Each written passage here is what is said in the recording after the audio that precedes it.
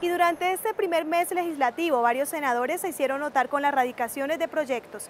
Veamos aquí el resumen de algunos de ellos. La iniciativa legislativa presentada por el senador Ernesto Macías propende aumentar la prima de actividad, la cual pasaría de un 30 a un 49.5%, logrando de esta manera la nivelación de los agentes frente a las condiciones de oficiales, suboficiales y funcionarios del Ministerio de Defensa, quienes actualmente gozan de este beneficio.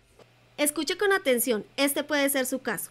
Hoy en Colombia, ciudades como Bogotá, Medellín, Barranquilla, Cali y Cúcuta demandan una deuda aproximada de 3.5 millones de multas por un valor de 1.6 billones de pesos, razón por la cual el senador Mauricio Gómez Amín busca dar una segunda oportunidad a los colombianos que hoy deben pagar altas sumas de dinero a causa de los comparendos de tránsito, por infracciones como usar el celular mientras se conduce, parquear el carro en sitios prohibidos o no portar el cinturón de seguridad. Hacer un poco de justicia en materia de código de tránsito.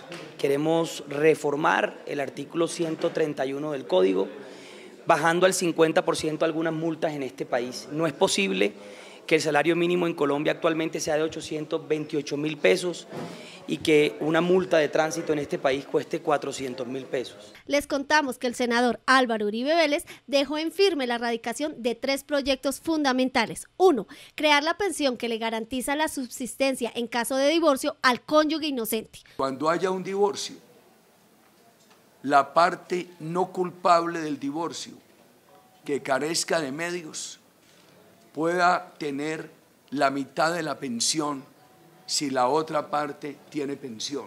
Dos, que el programa de alimentación escolar PAE tenga una vigilancia preferiblemente por parte de ASOPADRES. Creemos que sabiduría de los padres de familia es de gran importancia para garantizar el propósito del presidente Duque, la transparencia en la alimentación escolar. Y tres, que todo congresista, diputado o concejal que presente alguna iniciativa de gasto público debe proporcionar esta información para que sea consultada por la ciudadanía. A fin de evitar esa corrupción de la mermelada, a fin de evitar ese chantaje, a fin de evitar el canje clandestino de me dar la plata, te doy el voto. Así llegamos al final de nuestra sección Proyectos Radicados. Continúen viendo Casa de Leyes con más información legislativa.